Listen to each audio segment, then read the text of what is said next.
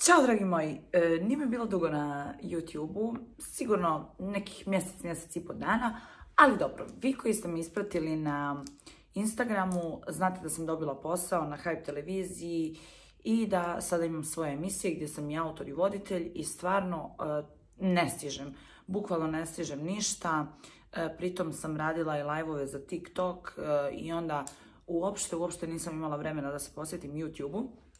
Ali s obzirom da ste mi toliko pisali da želite da se vratim i da vam nedostaju moji klipovi, gdje sam vam ja pokazivala svoje kupovine, ne znam, spremanje hrane, vlogove i svašta nešto što sam snimala prije, ja sam odlučila da se vratim. E sad, koliko će mene držati ovaj povratak, ja to stvarno ne znam. To zavisi i od vas, ako mi vi budete dali e, volju da budem i dalje na YouTube-u, onda ja ću da budem. Ako ne, ovaj, ništa, ostaću na TikToku i na Instagramu i to je to. E, zanemarite moju frizuru, ovu frizuru baš volim da nosim e, kada sam kući i kada ono, bukvalno ne izađem cijeli dan nigdje. To je frizurica e, svima vama dobro poznata iz djetinstva, zvana Palma. I ovaj, ispod palme na obali mora. toliko sam se pokajala što sam ošišala šiške da je to nerealno, jer ja sa njima ne znam šta sada da radim kada krenu da rastu. Znači, E, ili su onako preko očiju da ne vidiš ništa i da non stop moraš ovako glavom ili da ih non stop onako kao e, skloniš sa, sklanjaš sa, sa očiju i sa čela i onda, onda ih brzo i umastiš. I to bude kao ono, ono špageti ovako po, po licu. Tako da, zanemarite šiške. Nikad šiške nemojte da šišate. E, šminke danas nema. E, lice mi je nešto postalo skroz suvo, iako ga mažem sa kremama, da li zbog ovog vremena, ne znam šta, isto tako i sa usnama, pucaju nenormalno, ali koristim jedno dobro labelo, sad ću vam pokažem, to mi je Milovan kupio, jer je rekao da je prebrutalno. I ovaj, bili smo u Sephora on mi je kupio, to je ovo Brazilian Kiss, kao iz Sephore i cijena mu je negdje oko 2000 i, i 200-300 dinara, tako. Znači, uopšte nije jeftino, ali dobro je, jako je dobro. Baš uh, hidrira ovaj, lijepo usne i onako ne osjetite da su suve. Da. Moje usne, sad ćete svi sigurno da me pitate kao da Lila vadila si bio polimer, opet si uradila usne. Stavila sam hialuron, Nekako sam navikla. Navikla sam da imam takve usne i nemojte da mi zamjerite. To sam ja. E sad, e, isto tako nisam vam snimala ovaj, kada sam se prefarbala, vratila sam svoju prirodnu boju kose, jer plavi pramenovi su mi mnogo, mnogo oštetili moju kosu i ovo je sada sve što ja imam od svoje kose. Evo, to je to. Znači sad vjerovatno primijetite. Sjetite se moje kose dok nije bila farbana, a vidite sada. Mnogo, mnogo, sa, e, mnogo se razrijedila i, ovaj, i mnogo sam je skratila. Znači, evo, sad ne znam koliko vidite, ovako ću vam pokazati. Tu je negdje kao ispod grudi, a meni je prije bila dole do struka. No, nema veze. E, što sam još da vam kažem? Da, Marijana je stigla juče, pošto znate svi da je bila u Njemačkoj, odnosno ako ne znate, bila je u Njemačkoj i ovaj, e, više ne živimo zajedno. E, Maki živi sa, sa bratom i sa snajkom, mada je ona sad non stop ovaj, u putu, a ja živim sama. E, I onako zbog posla i zbog svega, jer stvarno dolazim preumorna i radim baš sam non stop u pokretu. I da ne bismo jednostavno smetali jedni drugima, ovaj, e, odlučili smo da svako ode u svoj stan i da se viđamo ovako kad, kad je Marijana tu, kad nije na putu i naravno kad meni obaveze dozvole. E, šta sam još htjela da vam kažem? Čekaj, čekaj, čekaj, čekaj. Da, e, juče je Makica stigla, išli smo, e, išla sam prvo s njom kod frizera da ona uradi nadogradnju kose, to je završila i onda smo poslije otišli malo da nešto kao shoppingujemo i ona mi je kupila, sad ću vam pokažem kakav poklon. kupila mi je emotivnu sovicu E, ova emotivna sovica e, je baka, bakica i bila je sovica koja je dekica, znači deka, tako kažu, kao deda, deka, dekica ovaj, i bakica. I ja sam odlučila da uzmem bakicu, da ne bih uzela dekicu. Jako je slatka, unutra znate da dođe čebence, jednu ovakvu plavu imam kući u Bosni, e, to je prva sovica koju sam ja jednoj osobi poklonila. I ta, ta sovica je ostala kući, tako da, eto, ovu sada imam u stanu, da li ću nju pridružiti tamo ovaj, u, Bosni ili ću je zadržati ovdje u Beogradu, vidjet ćemo. Uglavnom, jako je preslatka, mekana je i Makica mi je to kupila i hvala joj mnogo na tome. E sad, da vam pokažem šta sam ja to, mislim nisam na ništa generalno juče ovaj, to jest sinoć specijalno kupovala. Ušli smo onako da imamo šta ima i onda su mi se svidjele tako neke stvarčice i uzela sam i sad ću to da vam pokažem. Jel tako? Vi to volite da gledate. A volim i ja. Boga mi ja iskreno volim da, da gledam tuđe klipove gdje pokazuju ove šta su kupovali, pa čak i kad je hrana u pitanju. E, ovdje je ovako ova lijepa e, torbica, ovako čupava, puf, koja je za laptop. Evo, jako je mekana, znači e, nije samo na izgled ono kao, kao da pomislite da je mekana i da je soft, nego bukvalno je i na dodir. I u ovoj je nekoj kao, kao zlatnoj boji, te neke nude ili nude boje. I ova pink. E, ova pink mi se također svidjela. unutra sam već stavila laptop, to mogu da vam pokažem. Čisto da vidim da li može da stane i stvarno može. Evo, to je to. Ovaj, unutra je baš onako lijepo obložena da ne može ni da se izgrebe ni ništa. I ovaj, pošto znate da, da laptop nosim na, na posao non stop i onda mi je, ovo mi je tako preslatko da je to nerealno. E sad, to sam kupila, ja kažem u H&M-u, neko kaže, mislim neko, pre, švabe kažu Hound M, ovaj, H&M kažu ovdje ili nije ni bitno. Uglavnom, H&M, čitaj kako piše, H-I-M, H und M. H&M ljudi. Ovaj H&M. Bože. Nije ni bitno. Ovaj, tu sam ušla, iskreno tu nisam baš dugo, dugo, dugo ulazila i eto našla sam ove dvije torbice. E, one vam koštaju, znači jedna košta 1700 dinara. Evo. 1700 dinara. I morala sam ove boje da uzmem jer su mi preslatke bile. E, čarape. Čarape su također ove kao mekane, čupave. I ovdje dobijete dva para. Imate kao ove malo na, na tigrasto i ove koje su u jednoj boji. E, njihova cijena je 1199, što znači 1200 dinara. Zaokružite slobodno. Čarape. Čarapa nikad dosta. Dalje. Opet čarape. čarape, evo, ovo su sve kao tigraste i one nisu čupove, one su obične, ali su kao ono iznad članaka. I njihova cijena, bila im je cijena, pogledajte ovo, bila im je cijena 1199, a onda su nekim čudom odlučili da stave cijenu na 1499. Znači, hiljadu i po dinara. Evo ovdje ispod ove etikete možete vidjeti, sad ćemo to da skinemo, ako bude moglo sa ovim noktima. Da, može. Hm. Ovo nigdje nema majke mi da, da budu 1199, pa onda odjednom da prebace. Evo, pogledajte ovo. Bile su 1199, a sada su 1000 i po dinara. Vjerovali ili ne vjerovali? 1, 2, 3, 4, 5, 6, 7 pari. 7 pari čarapa, ali ok, vrede. Vrede jer su njihove čarape stvarno kvalitetne i, i slatke su.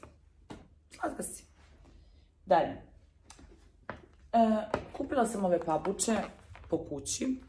E, I makici sam uzela iste takve, s obzirom da je ona otišla jutros, pošto ponovo ide na put, odnijela ih je, ali bukvalno su iste.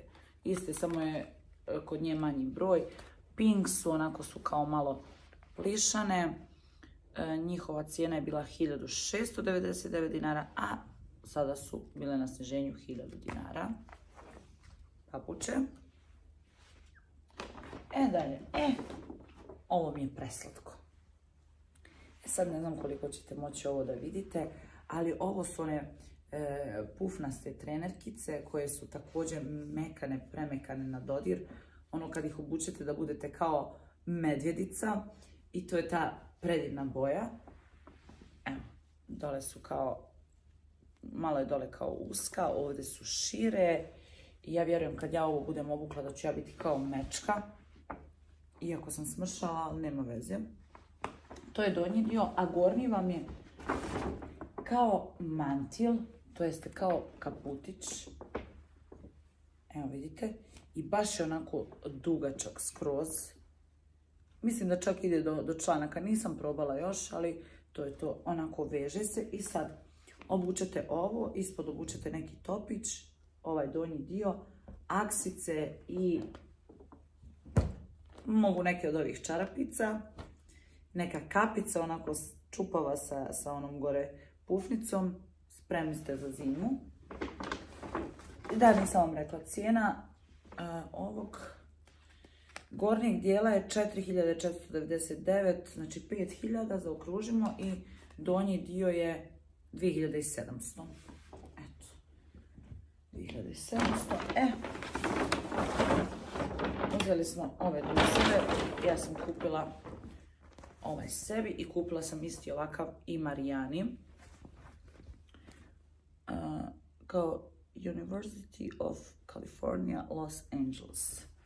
Eto to piše.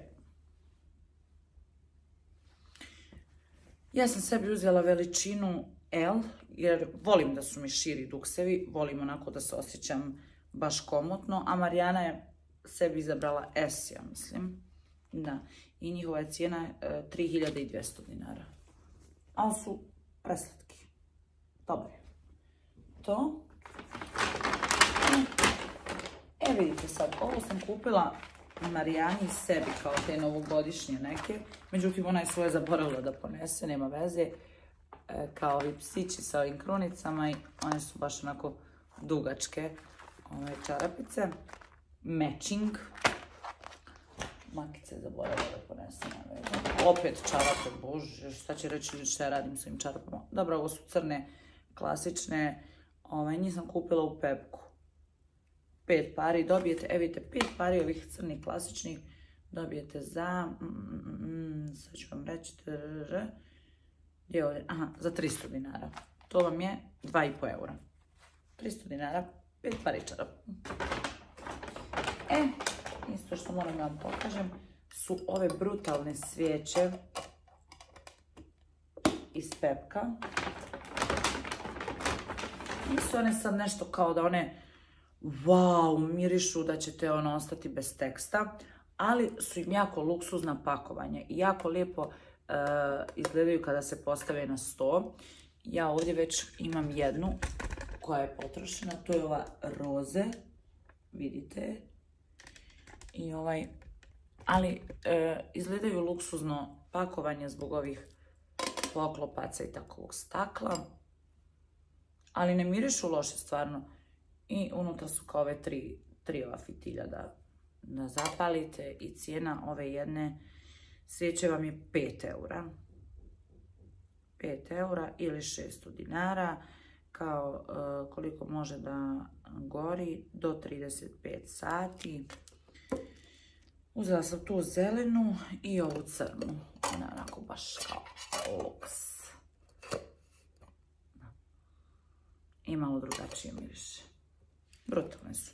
Jednu stavim u spavaću sobu, jednu stavim u WC, treću stavim ovdje. E, tako.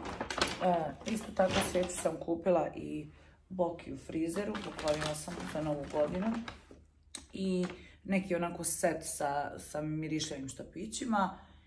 I ovaj, isto tako set sa mirišljavim štapićima sam i našoj Sandri mami od bebice što ste je viđali kod mene na, Instagramu. A ja sam od Bokija dobila ovu svijeću. Ona nije mirisna, ali ovako ono, baš je teška i više je kao ukrasna, da, da vam stoji kao ukras u ovoj, kako da nazovemo ovo, teglici. E, dobro. Sad kad sam vam to pokazala, moram da vam pokažem i jaknu koju sam kupila.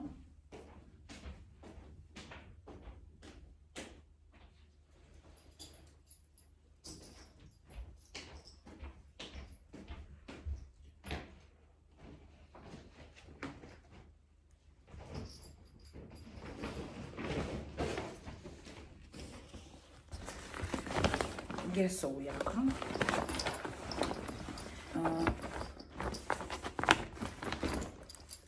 Kožna je. Onako je kao sakojić.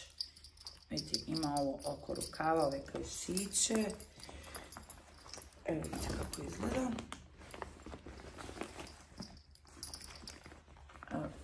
Top je. Znate kako sam došla do ove jakne? Sad ću vam ispričam. E, pošto znate svi da imamo stilistu koji nas oblači e, za naše emisije na našoj televiziji. Ovdje dobijete i ovu kesicu njihovu. Dobro vam priču za jaknu. Ovaj, I on tako eh, sedmično odlazi u radnje, Guess, Replay, Fashion and Friends, ne znam. I ovaj uzima na, na revers stvari za, koje smatra da ćemo mi nositi u toku te sedmice za emisije. I on je donio ovu jaknu, pošto sam ja rekla da želim malo mm, na sportski fazon biti obučena zbog ove emisije koja je bila sa MMA borcima. I on je donio ovu jakru i donio mi one pantalone što ste vidjeli u emisiji i ja ovu jakru ljudi kad sam vidjela. Ja kažem, Nemanja, ja ovu jakru moram kupiti. Ovu jakru ne smije niko da nosi posle mene. I on kaže, pa možeš. Rekao, želim, znači čim završi emisija, želim da mi je spakuješ i da ja nosim. Ovdje dođe neka i kesa. On vjerojatno kesa ono kao da se navuče preko fingera i to. I ovaj, tako da ja sam kupila tu jaknu. Cijena ove jakre je 21.590. Ovaj, I na osnovu Nemanje ću imati neki popust, pošto on tamo ovaj, također e, redovno i kupuje mimo toga što, što donosi te stvari.